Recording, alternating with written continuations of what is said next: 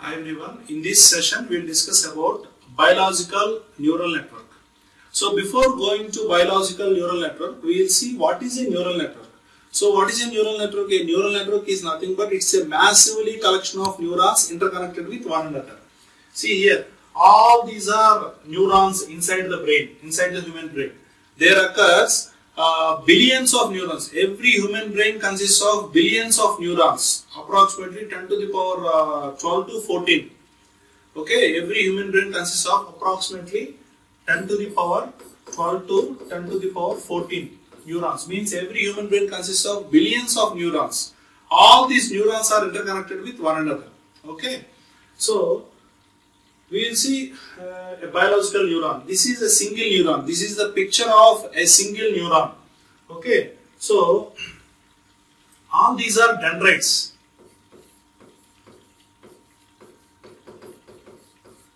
All these are dendrites. This one, this one, this one. All these are dendrites. Okay, so a dendrite, a dendrite will act as an input. It collects the input okay the dendrites are uh, useful or helpful for collecting the inputs.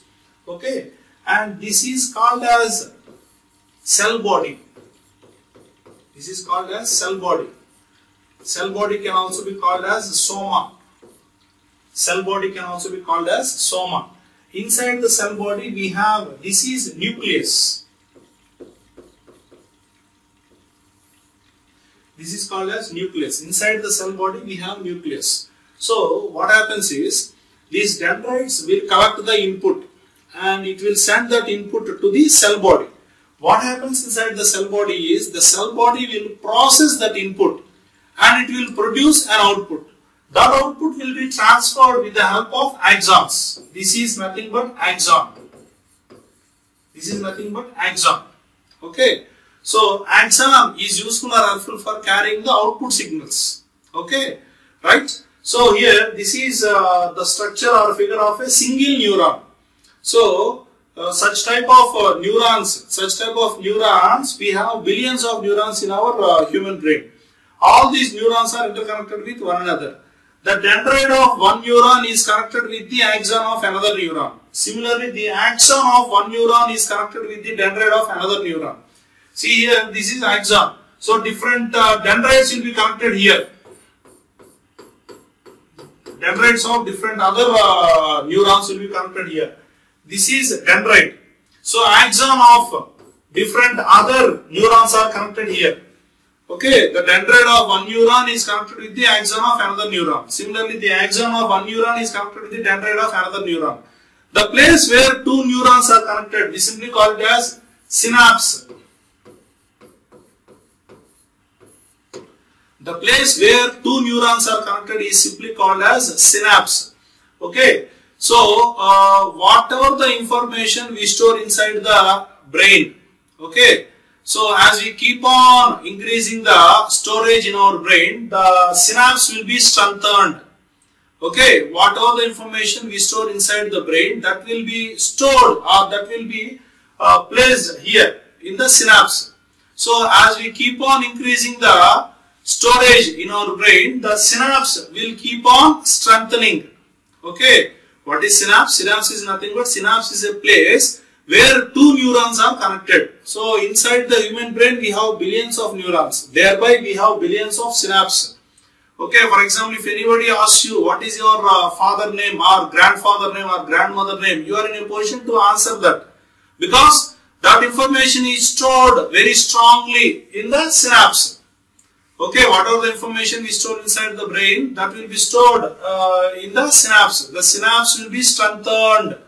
Okay, as we keep on increasing the information, as we keep on increasing the storage of information inside the brain, similarly the synapse will keep on strengthened. Okay, suppose if you are writing an exam and uh, if a question is asked, what we do, we will read that question and we will send that question to our brain and we will keep on thinking. Okay, means we will send that uh, question with the help of dendrites, we will send that question to the cell body. The cell body will process here. It will process here. It will verify whether there is any answer inside the brain. If yes, that answer will be sent with the axon. Okay, I tell you very simply, suppose if a mosquito is biting you, if a mosquito is biting you, what we do? So with the help of sensors, we have different sensors in our in our body. We have eyes, nose, ears, skin. All these are sensors. Suppose if a mosquito is uh, biting you, what we will do? We will get uh, pain. We will feel some pain, and with the uh, with the help of this sensor, we will send that information to the brain. Immediately, what the brain will do is brain will uh, brain will suggest you to perform an action with the help of actuators. So here the actuators are mouth and uh, hands, legs, etc. Right? Immediately what we do is we will uh, kill it or we will throw it out. Okay? That is uh, what we do. Right? Suppose if anybody asks you what is your name, with the help of sensors we will hear that yes. And immediately we will answer yes, my name is so and so. Like that we will answer with our mouth. Right? So um, these uh, biological neurons plays a vital role. Okay, right? So what we are doing is, in order to develop an artificial intelligence system, the first the first inspiration was taken from the biological neural network only. Okay, by seeing the biological neural network, the researchers were inspired how the biological neural network, how the human being is able to listen the question, how he is able to understand that and how he is able to address by his own. So in such a way they have started studying about human brain, how the human brain is uh, functioning and how the human being is able to uh, think by himself, act by himself and what are the actions the human being is uh, doing, he is doing all his actions by his own without uh, directions of any other person okay, without any other user or without any remote control. So that the researchers, they started, they started uh, doing research on an artificial neural network. They want to develop an artificial machine which can think like human, which can act like human, which can think rationally and act rationally. Okay, so that's why the artificial neural network, the I mean, uh, developing the artificial neural network or constructing the artificial neural network or developing the artificial machine has uh, taken the inspiration from the uh, biological neuron only or biological neural network only. That's why this biological neural network, that's why researchers they first started studying about biological neural network, how the human brain is working. Okay, I will show you one more figure. So this is a simple neuron. I am going to show another uh, figure. It is also a simple neuron one. So this is also neuron one. Okay. So in the net uh, textbooks, no different textbooks, they have shown in different figures, right? This is also a single figure. See, all these are dendrites. Okay. So this is cell body. This is cell body. And inside the cell body we have nucleus. This is axon. This entire thing is axon. These are axon, terminals. Okay. See axon, axon terminals, and we have a myelin sheath and Schwann cell, right?